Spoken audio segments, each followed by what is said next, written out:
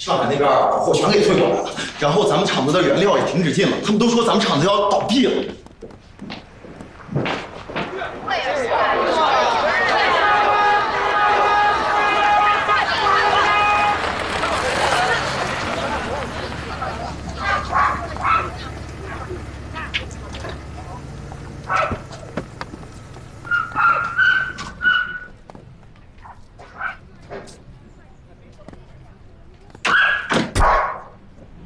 大家先回家休息，等信儿。厂厂长，我们不开工了。是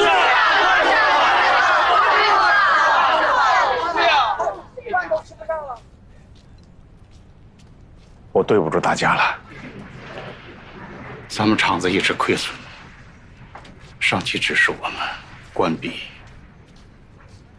我也没有办法。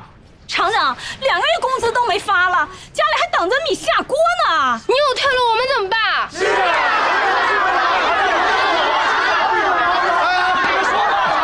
哎，大家大家安静啊！大家安静啊！听我说几句。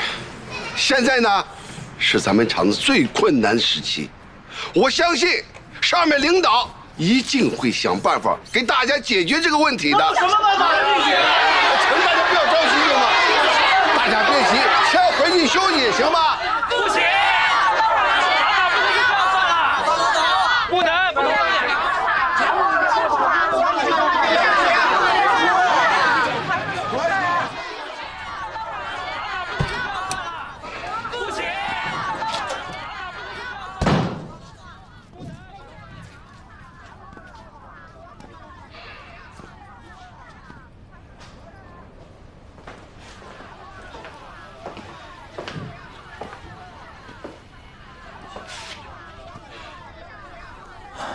陈江河，当时厂长要是听你的就好了，现在全完了。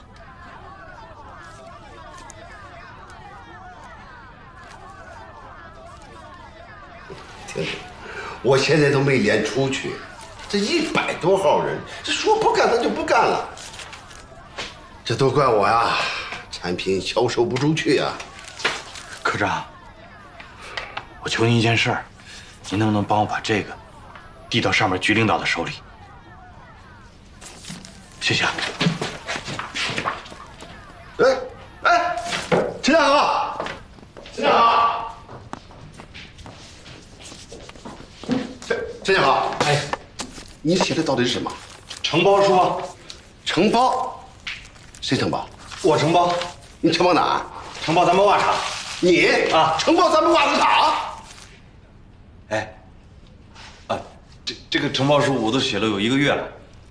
我的承包方案是这样的，就是首先呢，把我们所有的现有库存按工资抵给职工，让他们能卖多少卖多少。第二呢，把我们的设备，老的设备全都抵出去。第三呢，科长，就东区那片地可以租出去的，也能换钱。这样我们有了这点钱，上面再支持我们一点，我们买点新的设备，东山再起，袜子厂还有救。陈江河啊，你是不是早就知道咱们袜子厂要倒闭啊？啊，所以所以我我也不太惊讶的，我也一直等着他。杨科长，嗯，您是有能力的人，所以如果你看得上我陈江河，你愿意帮我的话，做我的副厂长吧。还副厂长？陈江河，哎，你简直白做梦！做梦有什么不好呢？我可愿意做梦了，但是我跟您讲，我做的肯定不是白日梦，我愿意把梦实现的。哎哎，郑厂长那个人你是知道的，人是好人，但是他现在就不做梦了，因为他现在满心满想的就是安安全全、太太平平退休，人到码头车到站了嘛，所以他不做梦，他不做梦，这个厂子就完蛋了。所以我们这个厂现在其实恰恰需要一个愿意做梦，并且愿意把梦实现的人来接手。你又凭什么接手？咱们一个国营厂能让你一个个人接手？哎呀，你太老土了，消息好不灵通的。杭州好多国营企业现在都是交给个人来承包的，不是说方案不可行，方案只要好，上面自然会同意的。你知道换一台机器多少钱吗？所以我跟你讲，东区那片地啊，可租可卖。陈祥和，你也太不自量力了！你新的生产线能保证这些袜子能卖得出去吗？我换产品呢，我都想好了，要换玻璃袜。哎，这个东西了不得的，玻璃袜在广州、深圳那一带已经流行好久了。你给我半年时间，我保证起死回生的。玻璃袜，哎，你既然都想到这儿了，那你为什么不早点提，偏等厂子倒闭了再提呢？严科长，倒闭之前我已经把好多方案都给到过你们，你们哪一个方案听过？你既然有这么大的本事，为什么还跑到我们厂子来？哎，你到底是什么人呢？我就是个义乌人呐。要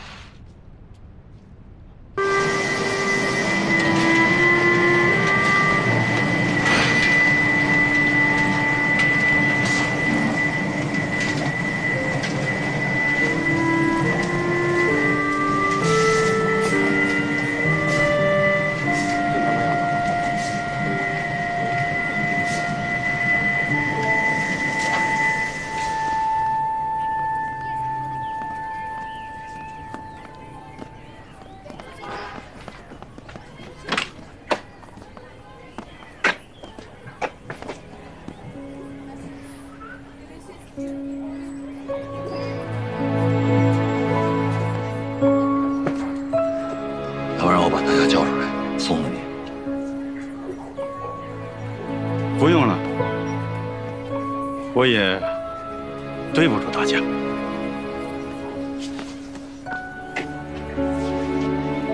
我知道您在这儿待了这么多年，有感情，舍不得啊。要不然咱爷俩，咱们散散步，把这院咱们再转转，好不好？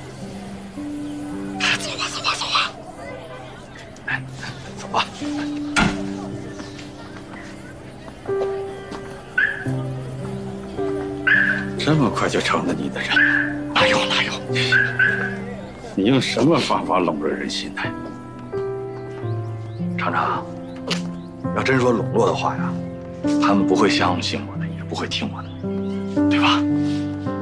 那为什么全厂上下那么多人联名上书，一个不落下？嗯，让你接这个厂。上级领导那么快就批下来了，以后没有人？我有靠山呗。对不住啊，我年老了，两眼会花，嗯有眼不识泰山。陈强哥，哎，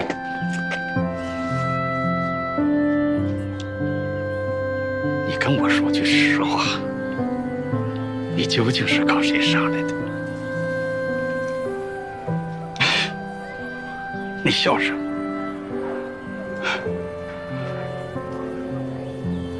我靠的是对这个厂的感情啊，我靠的是我真心想救他呀。你说你，哎呀，一个小伙子，刚来这个厂几个月呀？我对这个厂的感情啊，得是从二十年前一个小女孩跟着她妈妈到这个厂来打工那个时候开始算。我就为了那个小女孩，我也要救这个厂。你对说到这儿，我还想起来了，好些年前啊，有两个人冒充您的二姑和二姑父到这个厂来提货。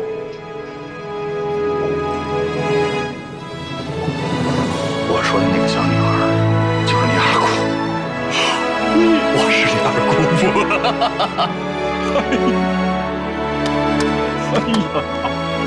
老厂长，真心给你道个歉。行。